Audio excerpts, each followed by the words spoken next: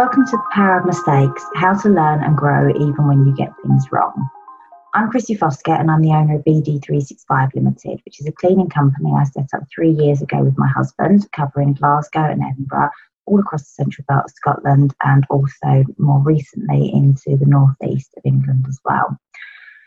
I'm also a founding director of the Domestic Cleaning Business Network, which is a trade association set up specifically to help UK cleaning business owners throughout all the challenges that we all face every day when we're growing our business. And it's also there to support them and to give them the tools they need to grow. Finally, in addition, I'm also a director of the Domestic Cleaning Academy, which is a new online training academy specifically creating cleaning courses for business owners within the cleaning industry and cleaners, covering everything from recruitment, marketing, setting up, how to grow, how to quote, right through to the physical side of your day to day cleaning and selecting the right products to use. So, in this video, I'm going to be talking today about how to make the most of the mistakes that we all make, how to learn from the mistakes that we make, and also how to avoid making the mistakes that are going to actually impact and stop your business from growing. So, hopefully, like many of you, I watched last year's Maid Summit um, through ZenMaid and I learned so much. I must have watched every single um, talk now and I've gone back and rewatched them because I did buy the pass as well. So, when Amar got in contact with me and asked me if I wanted to speak at this year's calls, I was absolutely thrilled. I really was. Um, and then I was stumped straight afterwards, uh, pretty much about what I was going to talk about. And it's weird because over the last year, I've helped cleaning businesses and stood up in front of hundreds of people talking to them about marketing, recruitment, winning new business, and more recently doing a series of courses specifically tailored to guide cleaning business owners who are going back to work with COVID 19.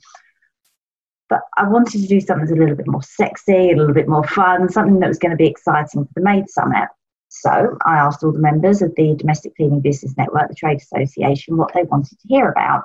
And the overwhelming response was actually about my story and how I got to where I am. So, to put it into a little bit of context, um, we, my husband and I, we grew our business from absolute zero uh, to just over £250,000 turnover in just over two years. Um, this year, if COVID hadn't been around, we would have smashed £400,000. Um, this year, we'll probably do just shy of £300,000 even with COVID, and that's having been shut down for a couple of months. So it kind of makes sense to talk about how I got to where I am now um, and to give everyone watching really that little nudge to sort of say, do you know what? If I can do it, so can you. So I've always been someone to really kind of analyze what we do as a business and to look at the figures and the results. So when I look back at our business and how we've grown, I kind of look at the milestones that have helped shape and get us to where we actually are as a business. And when I was doing that, what I realized was is that a lot of the milestones and the turning points are actually based upon mistakes or business critical points, as we call them, not mistakes, um, that had happened in our business. And what I realized is actually it was through making these mistakes and changing what we were doing that had really enabled us to turn them into opportunities to do better within our business. And from a mindset point of view, reframing it as not calling it a mistake, calling it a business opportunity or you know a challenge to try and find a solution to actually makes dealing with it a much more positive focus as opposed to being a regretful one which is typically how we see mistakes being. So we all make mistakes when we start out you know, there's no, no bones about that at all. Every single one of us would have made a mistake of some kind in our business as we go through. Now, I kind of jokingly say to people that I've made every mistake going in the book that you can do within this industry. Um, and during the recent online training we've been doing, we've been talking about risk assessments and, you know, how to prepare your business for going back to work we did quite a big talk about all the things that could possibly go wrong when you're cleaning. So, getting locked out, getting locked in, broken fixtures, pets escaping, letting the wrong pets in, equipment failure, lost keys, staff going AWOL. Um, yeah, I've kind of had all of those and then some more as well, which has been great. Um, and they are all mistakes. They're all things that could go wrong, and in my case, have gone wrong in our business. And it's really, really hard when we start out. There's no idiot's guide to getting cleaning business up and running and making zero mistakes books. If there was, I'd have bought it quite happily by now. Um, in fact, I'd probably slept with it and read with it every single night going through my business. But what I did is that every time something went wrong, I would kind of look at it. I'd look at why it went wrong. I would look at what I could do to fix it. More importantly, I would look to do, see what I could do to prevent it from going wrong again. And it's this thought process that we then need to document down. And it becomes a process or a policy that we could then follow as a business and implement and make sure that we're following it so we didn't keep making the same mistakes twice. So if trying to chase a dog down the road because the door hasn't been shut properly ended up in our policy to maintain the wellness of your pet during cleaning, fantastic. We then sold that as a selling tool. You know, it's a major feature to our clients that we were so conscientious about the welfare of your pet. It wasn't the fact that we didn't want to go running up and down the road chasing after it. It was all about your pet and making sure it was okay. And that then meant that all pets had to be securely put away when we before we arrived to the house, otherwise we wouldn't clean. Just solve the problem for us straight away. So after a mistake um, where a shower door had fallen on me at a client's, we then introduced a policy where we would go through and as part of our first 15 minutes of every claim, which was chargeable to the client, we would document everything that was possibly wrong within the property. We would give the client a list of it and we'd also give them the telephone number of a really friendly handyman who could come in and fix said problems for them. We worked on a referral scheme with the handyman. It's a win-win situation all round. So again, we took something that had kind of gone wrong. We looked at what we could do to stop it from going wrong. So we had this sort of in-house inspection that we put into place, and then we sold a solution for it as well, so we wouldn't have to deal with it. So again, you know, one mistake became an opportunity to avoid this happening again, and for us to make money for. Now, in both of these instances, you know, and these were very early days. I'm talking just like a couple of weeks before we sort of started when we got the business started. I looked around for policies that I could kind of steal, borrow, tweak um, to put into place or ideas that could help me. And, you know, here in the UK, even, you know, as little as a couple of years ago, there wasn't a lot of resources available. The cleaning industry has really boomed here in the UK over the last couple of years, and actually the support networks are available are much much better than what they were before. Um, but in the end, what happened was is I ended up just writing my own policies because I couldn't find anything off the shelf to sit there and work with. Now, within my role with sort of the DCBN, Domestic Cleaning Business Network, you know, there is somewhere that cleaning business owners can go and get these ready to use documents that you can literally just download, put your email address on, put your company address on, put your logo on it, and they're ready to use. You know, so if there are resources available to you, go out, find them, and use them. If they aren't, you know, write them yourselves. They're not particularly difficult to sit there and do. And you know, if you've got these policies in place, and you know, the more policies that you put into place when you start and you get up and running, actually, the easier it is to run your business. It might feel like a lot of paperwork from day one, but it will make your lives easier. And remember, the best mistake is actually the one that you actually avoid making in the first instance. So that's a little bit about making the most about your mistakes, but learning from mistakes is also absolutely crucial. So for me within the business, the learn the biggest learning curve that I had was actually learning about costs and timing. So you know, I've been there. I'm sure every single one of you who are watching have been there as well. So you've gone in, you've quoted, quoted your very first property, and whether it's done face to face or over the phone, you agree your rate, you agree a set amount of time on it. You're over the moon that you've won your first client and they're actually going to buy from you and you're going to go in and clean there. It's amazing. And you know, you set your date in the diary, you pop it in your schedule, and then you arrive for your first claim and you open up the front door and you're like, okay, is this actually the same house? Um, has their Hoover kind of broken since I came in to do my viewing two weeks ago? Um, did they get like a five minute warning? They've just abandoned this property. You know, 90 minutes into your first two hour clean, you're still in the kitchen. You know, we've all been there. And, you know, it's a simple mistake that we all make very early on about getting our times wrong. And it can cause so much chaos and disruption. You know, do you stay longer to finish the job? Do you charge the customer for the extra time? Do you just leave? Um, if you stay, your schedule's ro- gone wrong for the rest of the day. Is the customer's going to give you a bad review? Now, I used to feel physically sick, sort of going through these little conversations in my head, deciding what we were going to do and you know how we were going to get around it. And where we were lucky is that when it was happening to us, it was just myself and my husband out and cleaning. You know, we were both self-employed; it wasn't too bad. Um, but as soon as you've got staff on board, um, underquoting becomes, especially on time, becomes so much more problematic because you've got more issues with cost, your scheduling. You know, you, you if you're paying by the job, it's different to paying by the hour. There's all of these things that you need to look at. Um, so when it is just you, it is easier to put into place. So as a business, you know, and we wanted to be a business, not just be two self-employed cleaners going out. We had to do something to help us stop making these mistakes.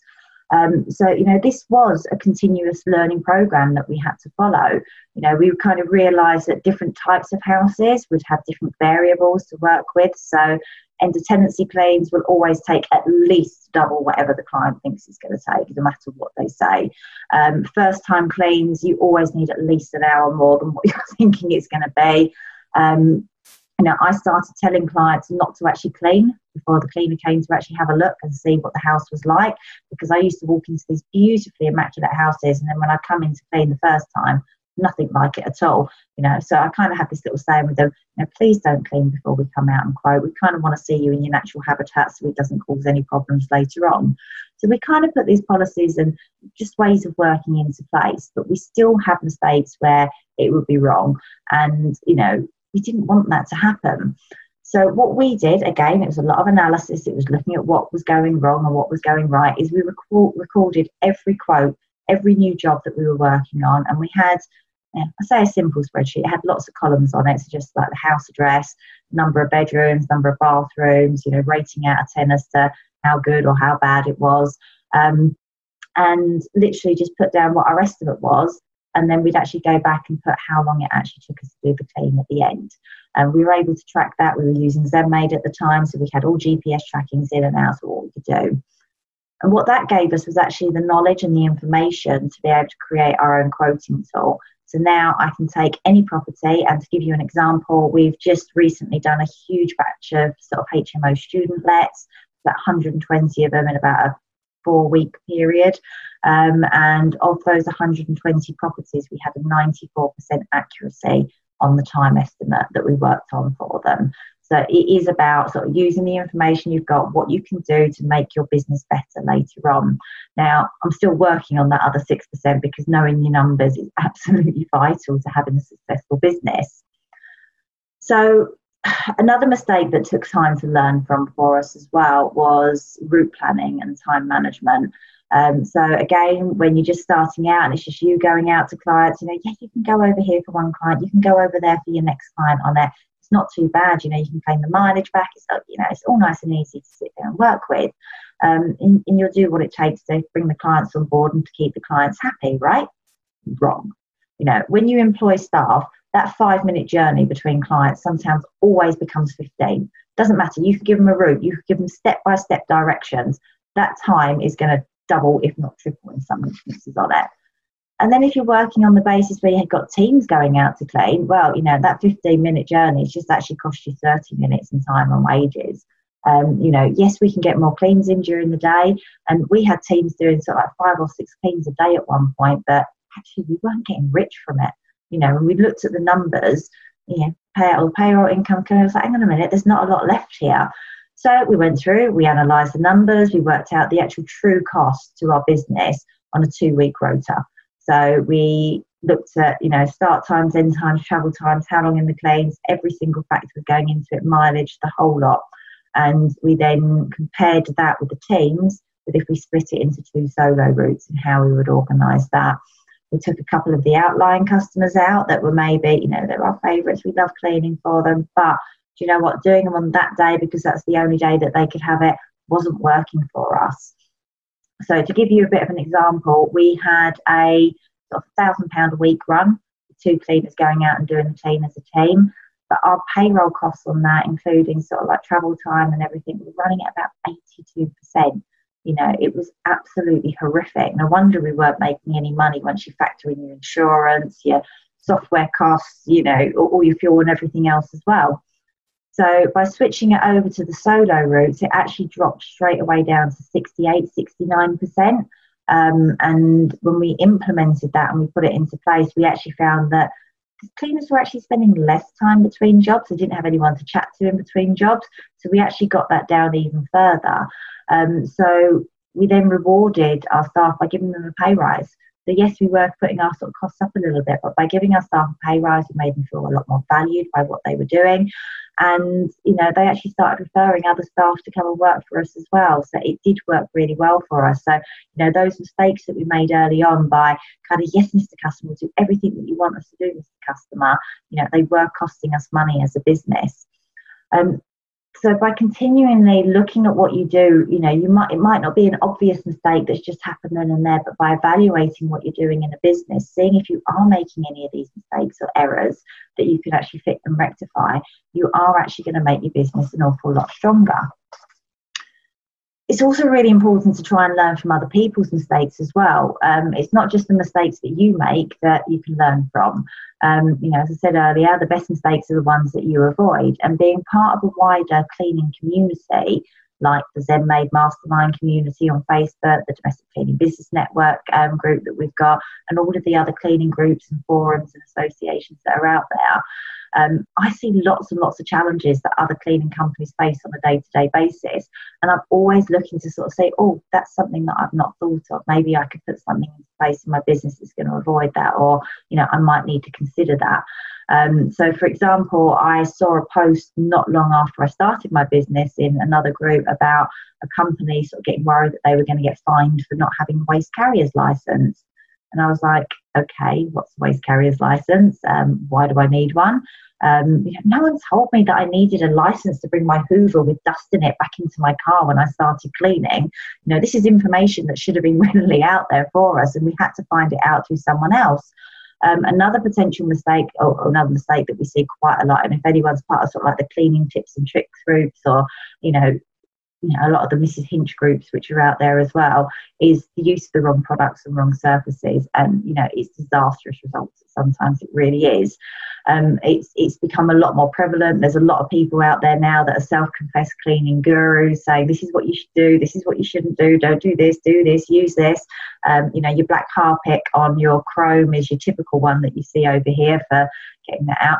And you know, I've spoke to my insurance company. I was like, okay, this actually happens quite a lot. Someone said this. What if this goes wrong? Rang my insurance company, and he's like, well, no, you've got to kind of read your safety data sheets. And I'm like, what's the safety data sheet?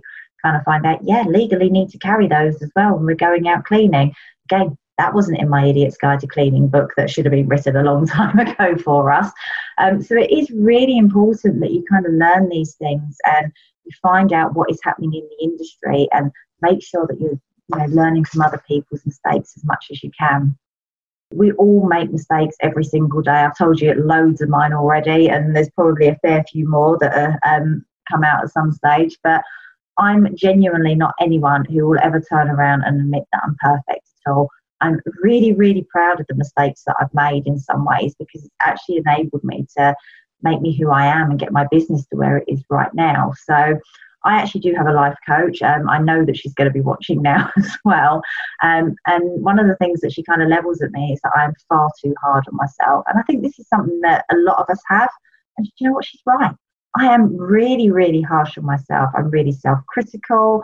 Um, I doubt myself hugely a lot of the times on it you know, I even doubted if I was qualified enough to actually come up here and speak on this summit to all of you guys. And, you know, when you're up with the likes of sort of Debbie Sardone and Pam Washington, and everyone who's out there, you're like, wow, to sit here is a massive honour. Should I be here? Um, but the one thing that I've kind of realised through working with her and through the success of my business and helping other people with their businesses as well is that actually it's my self doubt, it's my lack of belief in myself at times that actually drives me to be better. It really does push me to force myself into challenging situations and throw myself in the deep end. And everyone will know if there's something that someone says to me, oh, that can't be done, I'm the first person to say, yeah, I'll find a way to make it happen. You know, for me, I want to be the best. And I think many of us do. We want to have the best cleaning business we possibly can. We want to be better than all the other cleaning businesses in our area. You know, and I personally want to be recognized as being successful. Now, some people come into you know we all come into this industry for different reasons some people come into it for have a really good work life balance some people because they love cleaning um, me i came into it through necessity i genuinely needed to make some money and i needed to make some money fast um, and for me it was a quick way of doing it with minimal setup cost, minimal expenditure, um, and a really quick sort of pay in return. The customer's kind of paying you on the day. It's like fantastic. What's not to love? But I very quickly realised that actually this is a sustainable business, that I could use all of my previous business skills and experience in recruitment and project management to scale up this business and to do it quickly as well. So, like many of you, when I started out, I printed a whole load of business cards, a million leaflets, fly posted them everywhere it felt like, did a few Facebook posts, and started getting calls in. Fantastic. And I would go to a potential client's house and I would walk around, I would have a chat, and I'd basically convince them they needed me. They needed me to come in and clean, their house was filthy, yet we were going to solve all of their problems for them. And then I made the same mistake that we all do when we're starting out. I completely undervalued myself. I'd get really nervous about the price. I'd be like, we're going to do this, we're going to do this. And that'd be £10 an hour. Is that okay? Is that okay? Asking the customer if they're happy to pay an amount. Um, you know, yes, honestly, I started out at £10 an hour. I won my first four clients at that price, and then it clicked. I was winning these clients because I was too damn cheap. Um, you know, so I was like, okay, well, I'll put my price up. I'm going to go out and put my price up. And then I was like, oh no, I can't do that. You know, I'm just new, I've just started, you know, I've got no experience, you know, no one's going to believe that I can do it. You know, how on earth could I justify putting my price out with someone who's only gone out and really done four cleans at that stage? So, you know, I stuck with the price. I went out, I won another sort of four or five customers at that price, and I set myself a challenge at that stage, I was like, okay, I'm going to go out and I'm going to get my next client at £11 an hour. So the final part of this talk is about avoiding making mistakes yourself that are going to stop your business from growing. So we all make mistakes every day. You know, I'm not someone who will ever admit that I'm perfect. I'm actually quite proud of some of the mistakes that I've made in its weird way because they've actually made me and my business who we are today. Um, now, I do have a life coach, and I know she's watching today, and she is the first person to say that I am far too hard on myself. And she's right. You know, I'm incredibly self critical. I doubt myself huge amounts, and you know, I even doubted if I was qualified enough to actually come up and talk to everyone here um, about a subject. You know, it was really, it was a really weird position to be in. But the one thing that I have actually realized is that it's this self doubt that I have that I actually try and channel to drive myself on and drive push myself further and to be better it forces me to challenge situations. You know, I want to be the best. I'm sure you all do. You all want to be the best in your industry and what we're doing. We want to be right up there on the top. We want to be the first people that someone will come and contact to speak to us about their cleaning requirements. And for me personally, you know, I want to succeed. I want to be recognised as being successful. Successful. Now, a lot of people come into this industry for many, many different reasons. Some come into it lifestyle, some because they love cleaning. Mate, hands up, I'll say I came into it because I wanted to make some money and I needed to make some money pretty fast as well. And I saw it, as I think a lot of people do, as a very quick way to get in, minimal startup costs, and you know a very quick return on any investment because clients are going to be paying on the day. But I very quickly realized that this was actually going to be a sustainable business that I could use all of my previous business knowledge and skills and experience in sort of project management and recruitment to put myself in a position where I could scale up and scale up fast. So, like many of you, I printed some business cards, I did a whole load of leaflets, dropped them everywhere, did a few Facebook posts, and started getting calls in. It's fantastic. Now I remember very first client getting all excited, really nervous at the same time as well, and sort of going into the client's house, walking around. So I'm like, you know, topping the tops of the door frames and you know, checking behind the doors to see if it had been vacuumed properly, and you know, convincing them that they needed me to come in and clean for them. But then I made the same mistake that probably all of us have done from day one. I undervalued myself. You know, I sat there, I told them what a wonderful job we were going to do, how we were the best cleaners out there, how they were never going to be disappointed. And then I kind of sold myself for £10 an hour. And then I asked if that's okay. You know, how crazy is that when you're starting out? It's like, don't go to like my local takeaway and get told it's that. Is that okay to pay that price? No, that's the price. That's what it is. Um, you know, I'd get really nervous about telling customers how much it was going to cost them. And, you know, honestly, I started out at £10 an hour. You know, I won my first four clients at that price and I was like, okay, I'm winning clients. This is fantastic. I must be great. And I'm like, no, actually, I'm probably just really cheap in the nicest possible way. And, you know, the reason that was the reason I was winning the clients. Yes, it was because I was, you know, a good salesperson. That's going to come into it, but and they bought into what I was saying. Um, but it was going to be down to price. So I thought about putting my prices up, and then I doubted myself. I undervalued myself yet again. Now, in my mind, I was too new, too inexperienced. I only had four clients. You know, I didn't have anyone to kind of call on for references. How on earth was I going to justify going out and putting my price up? So I stayed with the £10 an hour and I won another sort of four or five customers at that price.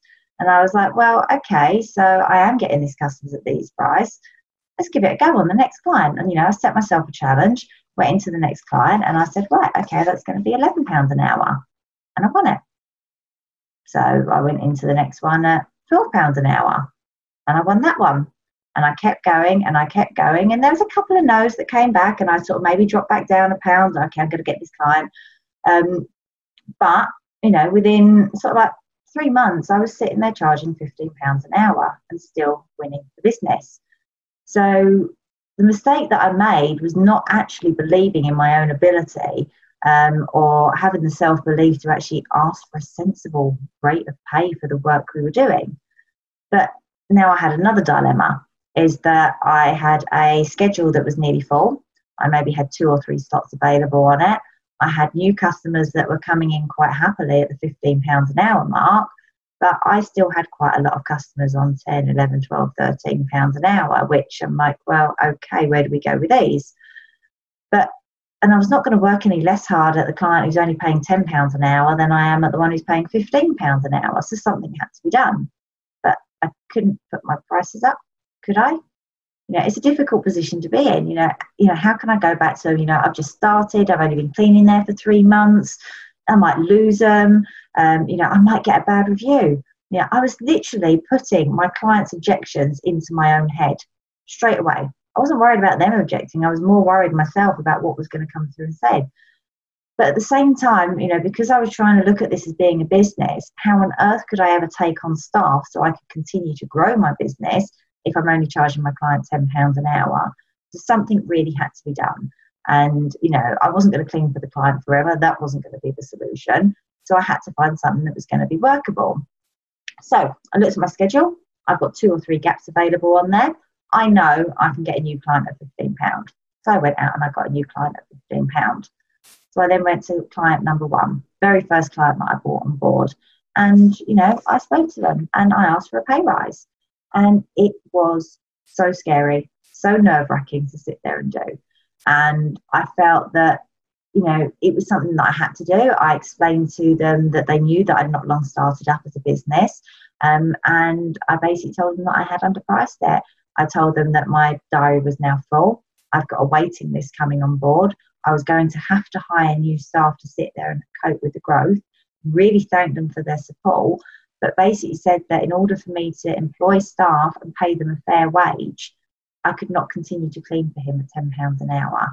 You know, I really hoped that he appreciated this. I hoped that he would want me to pay my new staff members who I was going to train up fully so they understood everything about the client's needs and requirements. Um, but I would need to put my prices up in order to do that. And I remember kind of sitting on my hands as I was sort of almost shaking um, whilst I waited for their answer. And you get that real kind of sick feeling in your stomach and you know we've had it it's still there. But they said yes.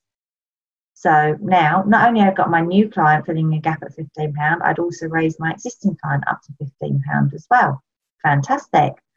So i went to the rest of them one at a time um, i actually had 15 clients that i needed to put the price up for. So that was kind of 15 gut churning conversations to sit there and have.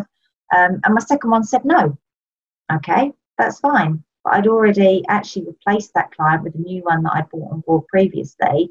So actually, I was better off financially by replacing that client, which was fantastic. It made good business sense. The client understood the reasons. They didn't feel that they could justify, you know, what was going to be a £10 increase in every single plane.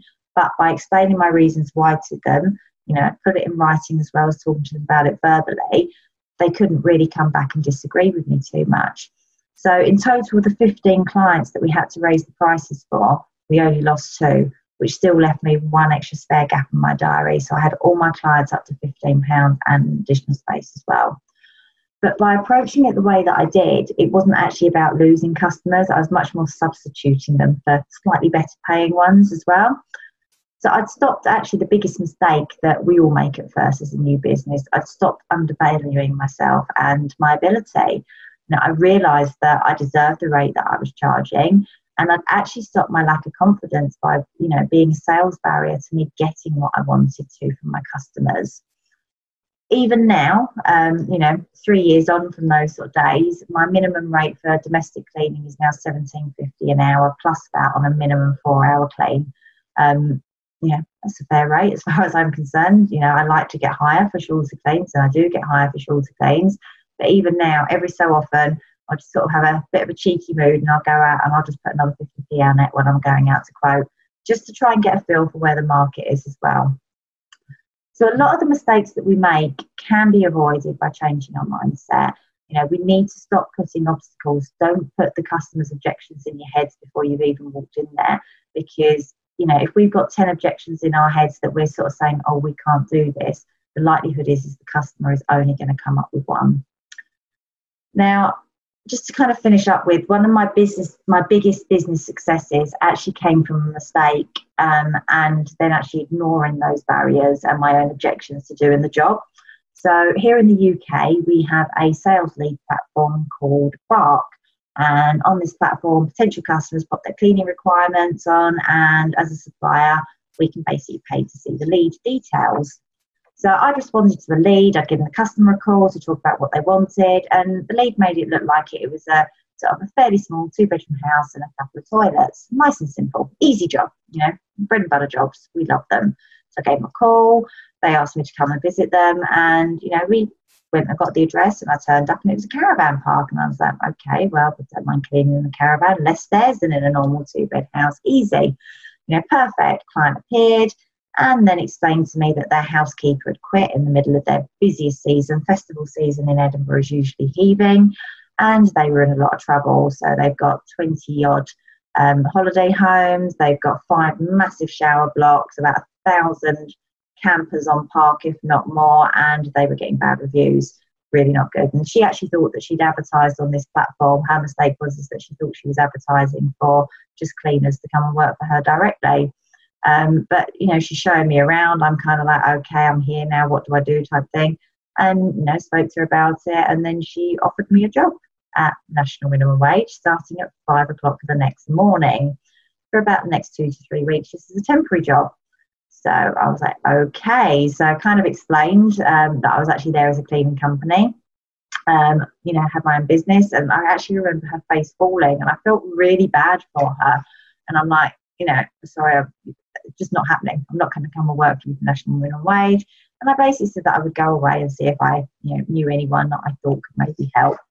So got back in the car, looked at my husband, told him what had happened, and you know, at this stage we'd not really branched into commercial. We had one little office that was like the office of one of our clients that we kind of cleaned twice a week, nice and easy. Know, to us, I remember sitting in the car, is way out of our league, you know, not going to work for minimum wage. I'm not getting up at five o'clock in the morning to go do cleaning. I'm not going to clean toilets all day you know, I was going to try and get my money back for this lead that I paid for because, you know, she she posted looking for a cleaner to come and work for her, not actually for a cleaning company. And you know, we kind of we drove off. We started driving off, and then we got a little way out of the road, kind of looked at each other, and we were like, actually, what if we can do this? You know, rather than talking ourselves out of it, we looked at what we could do. So kind of turned around, pulled over. There's a nice little driveway up there that we could do. And we were like, well, we could actually have two people every day there for them. That is feasible. We could be there from five o'clock, even if it was myself and my husband for the first couple of days to get it up and running.